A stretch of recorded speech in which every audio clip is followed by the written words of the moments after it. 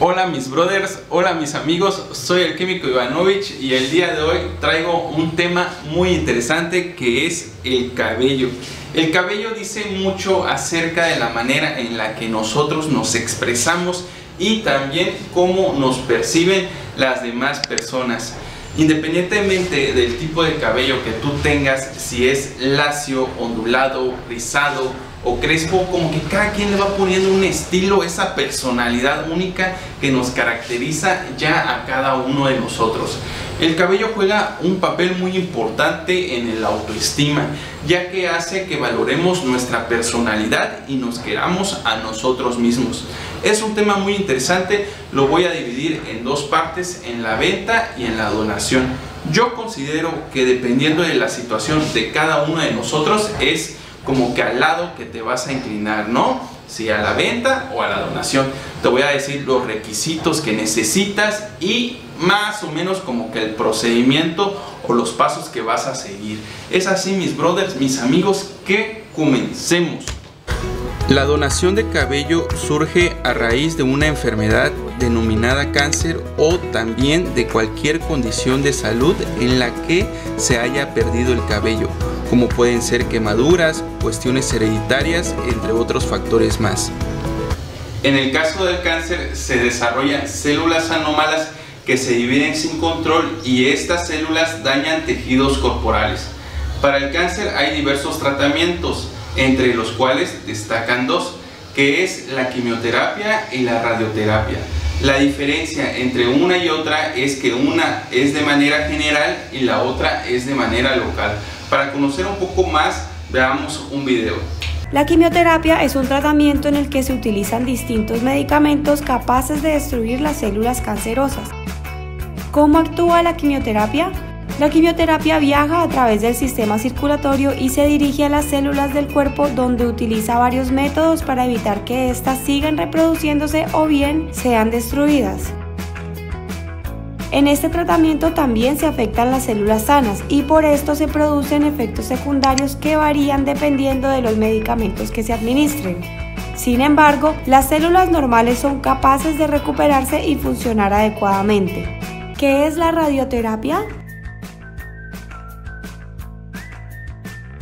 Es el uso de rayos X o rayos gamma para destruir las células cancerosas y disminuir el tamaño del tumor.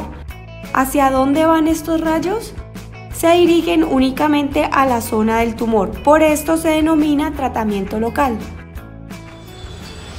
Estos tratamientos tienen algo en común, que es la destrucción de células anómalas y sanas, y uno de los efectos secundarios es la pérdida de cabello.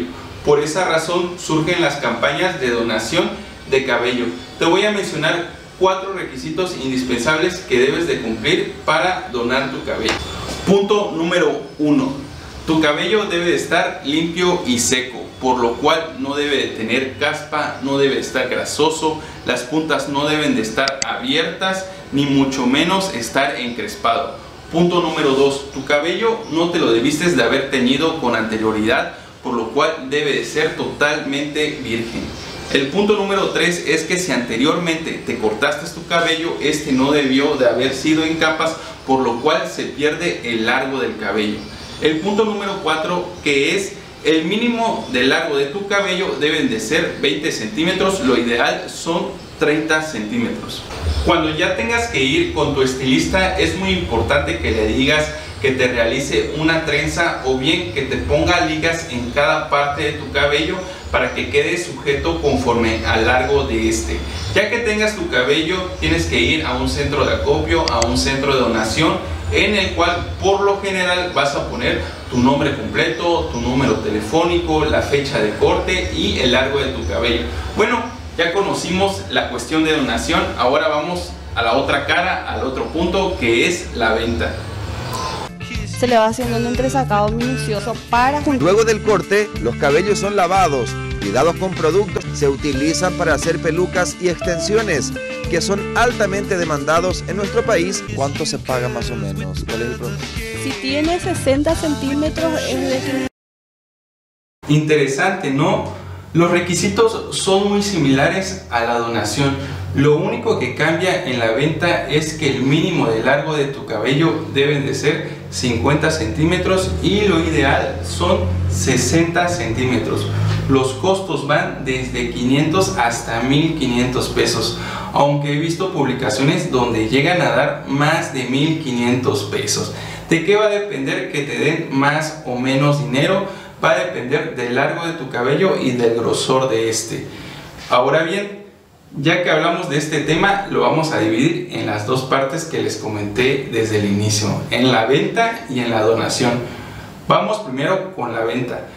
Yo considero que si te encuentras en una situación difícil, complicada, en donde tengas que pagar algún tratamiento, en donde tengas que llevarle comida a tu familia, en donde tengas que pagar alguna colegiatura, yo considero que la mejor opción sería la venta. ¿Por qué? Porque te hacen salir de ese apuro, de esa situación complicada. Ahora bien, si no te encuentras en una situación complicada, yo diría que la donación sería lo mejor.